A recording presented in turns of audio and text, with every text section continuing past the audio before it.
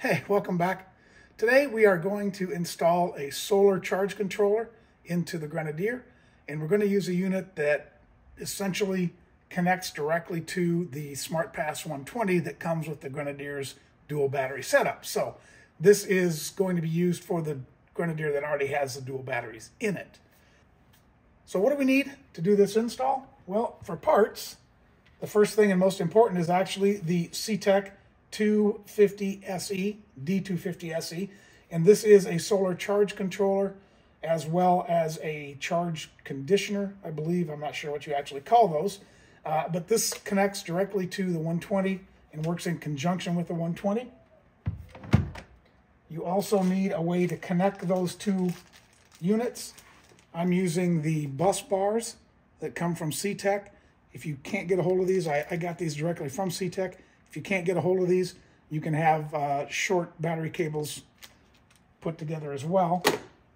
We also need a way to mount the two units once you get them into the vehicle. For that, we are using the Black Sheep mounting bracket. This comes from Switzerland, uh, so we had to order this from Europe. Uh, I'm not sure if there are folks in the U.S. now that are making these, but uh, this one was sort of the first to the market. We grabbed it, and the mounting hardware so that you can put the units onto the mounting bracket. We also need a couple battery cables so that we can connect the uh, power to the 250. I have MC4 pigtails that I'm going to use to connect my solar charger to this. Now, our solar panel is a portable solar panel. We use it for multiple vehicles and multiple devices. So that's why we're using the MC4 connectors and we're using a piggyback because we're going to just use an extension cord to connect this.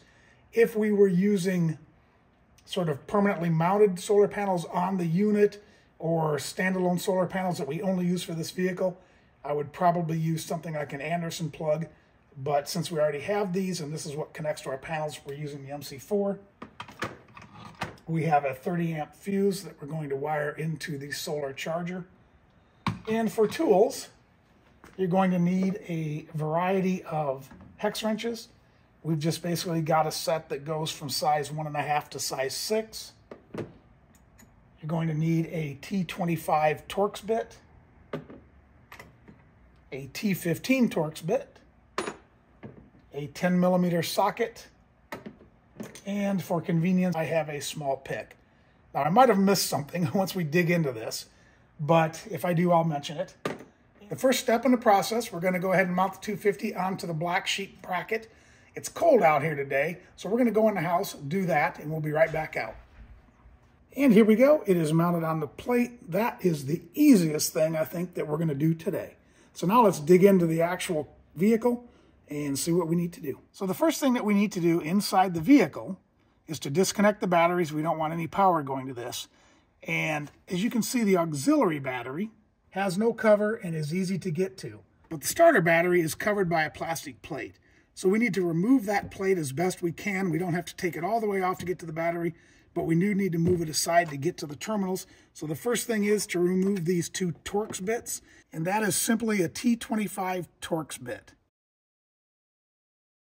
One thing I do like to do when I'm doing projects like this, because it's so easy to misplace these little screws, is I have a magnetic bowl, and I just connect that to the vehicle, throw the screws into the bowl. Those things are really handy. So the second set of bolts that hold that plastic cover on are under the floor pad. So we need to pull that out. And then once I get that out, I'll show you where the bolts are. And this really is pretty easy. You just pull up on it. It is tucked up under the sill here. So you have to just pull towards the center and it pops right out. And here you can see you have two little caps. There's one on each side. And to make it easy to get to the bolts, I just have this little pick. I go behind it and I pop the lid up. And there's the 10 millimeter nut that you have to remove to get this plastic piece out of the way so you can disconnect the starter battery. So let's get these undone. And if anybody's curious, there is your floor plug. If you want to rinse out the inside, that's the plug that you take out. And now we can move this out of the way enough to get to the negative cable to disconnect that starter battery. Okay, power is disconnected to the starter battery here. There we go. That's out of the way. Now we're going to disconnect the auxiliary battery. And I know I was going to tell you the size. These are also 10 millimeters. So pretty easy with just using that one socket. And as you can see, we've now got an error on our SmartPass 120 showing that you've lost connections. We now have the negative disconnected from the auxiliary battery and you can see that you've got quite a few accessories attached to that already. That's also where we're going to connect the negative for the 250. All right, now we're going to go ahead and disconnect the SmartPass, and that's just a hex nut. The mounting bolts for the 120 are a T15 Torx bit. If you have a T-handle bit, that would be nice. I don't have one. So to loosen these, I'm just going to use my bit and a pair of pliers. Get that initial turn done.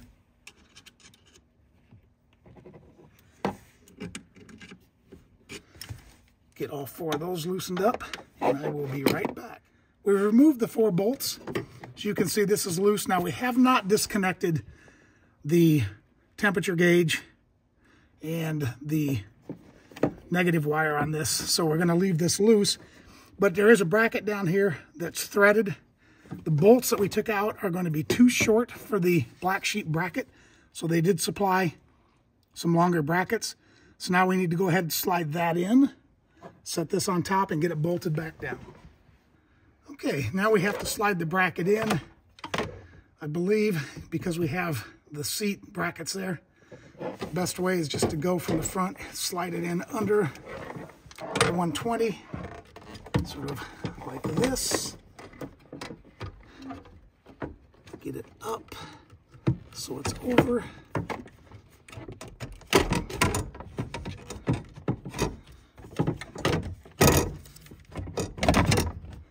And I think we've made some headway here. There we go. Now that's in, but we do need to make sure that we get this lined up. All right, there it is. Pretty well lined up. Now it's just finding the mounting holes. Kind of hard to see down in there. But I believe there it is. So Let's now get the longer bolts for the 120, get that started, and then we can snug them all up.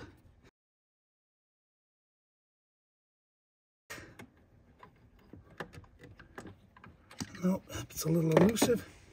So it's just a matter of getting things lined up here. This may be the chore of the whole job right here. All right, we have managed to get these in. It's a little snug, as you can see here the temperature gauge bracket fits up tight against the seat bracket. And in the back, the plastic was in the way, so you had to lift that up slightly to get this back behind it. But we've got that snugged up, so now we have to make the connections. So first thing we're going to connect is the negative wire from the 250 to the battery and the solar pigtail.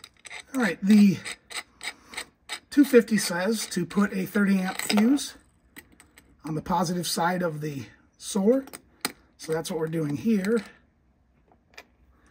We're going to connect a battery cable, which is what we're going to actually connect to the 250.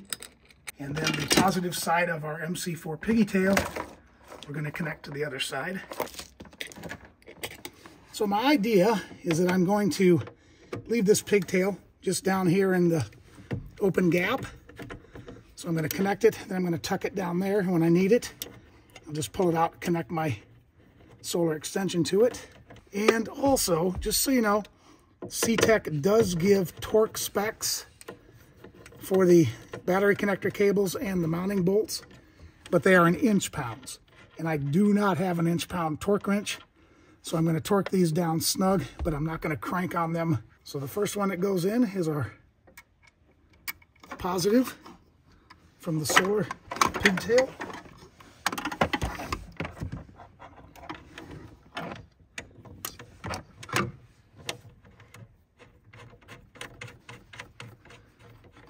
And when we connect the negative, we're also going to connect the negative that's going to go and ground us to the battery.